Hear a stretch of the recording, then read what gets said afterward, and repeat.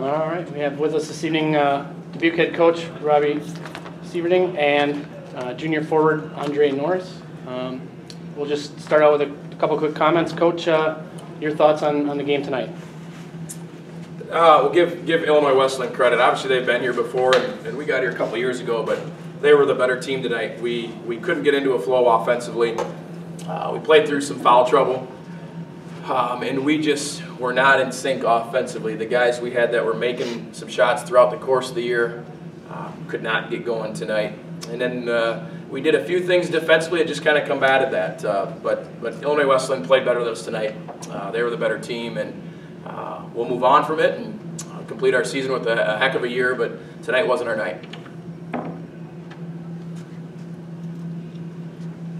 Coach, how much do you think Andre's uh, picking up those two fouls uh, quickly? Kind of he contributed to the offense and how it flow? Yeah, well, obviously him and, and Gage. We need him out there on the court. Gage played Gage played 15 minutes and fouled out. Um, that's not a good recipe for us. Andre got two fouls and I couldn't really play him.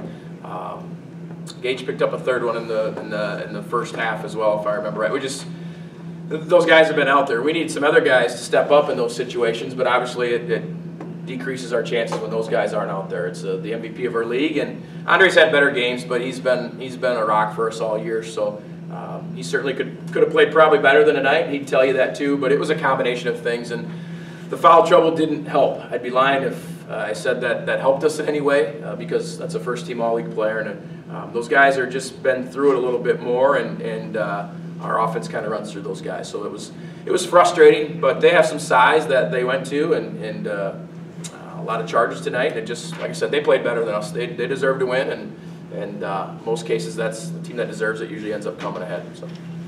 Which I wanted to just ask you a little bit about the dilemma with the two big guys. They seem to go to them early, and then Dolan's knocking down five out of eight from three. You kind of just have to pick your poison in that case, and Well, a little bit because we go we go a little bit smaller with with uh, Gage at the four, and we can get away with it a little bit in our league. And I didn't know if they would start those two, and then I didn't know how they were going to go on the other end. And Andre's been shooting at mid 40s from the three point line, and and they're he could shoot as many as he wanted to there, but they weren't going down uh, tonight and to start the game there. And then we got in foul trouble, and then the offensive flow and rhythm we just we had none.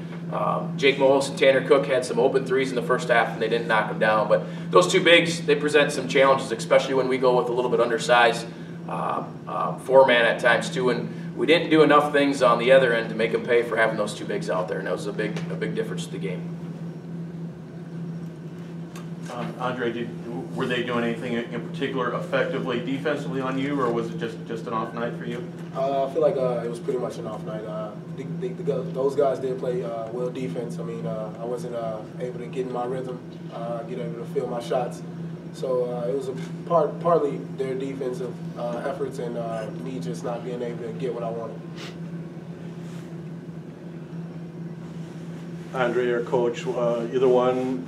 Obviously, when you get down double digits, uh, you only shoot 28%. It's hard to kind of make a run to kind of make them start thinking and maybe put some pressure on them. I'm assuming this is just one of your worst shooting nights of the season. Yeah, we've had a we've had a couple, but this has got to be our, our our worst. And like I said, give give credit to them. The big kids inside held their ground. Um, there was a lot of charges tonight, so you couldn't get to the rack much too, which kind of is another way to protect the paint there too. Um, we, we had, you know, we followed a three-point shooter because we have a breakdown. We we gave up a three in transition, and Andre misses a dunk, and Tyler Ware misses two layups. Those are, you, you know, we can't miss those in the first half when we're when we're struggling so hard to score, and and then we give up those opportunities. And we had a, a, a dunk and a couple layups, and then we foul a three-point shooter. They just kind of they add up and they snowball, and all of a sudden you're chasing points and that's really we've scored at second in our league, but that's really not who we've been. We didn't want to get in the track meet with with them, um, especially if we got guys sitting on the bench that are normally out there. But we, we were forced to kind of start chasing points, and we'd get it to 12 or so in the second half. We just kept saying, "Let's get it to single digits, get it to nine or eight, and we just could never. Uh, we could never get it to that point where it was a, a three to four possession game there, a two to three possession game there. So, uh, like I said, they were they were a much better team than we were tonight on, on both ends, and, and give them credit. Uh, they uh, they deserved it tonight.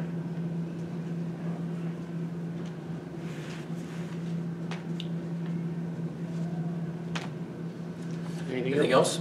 else? All right, Thanks, thanks, guys. guys. Thanks, guys.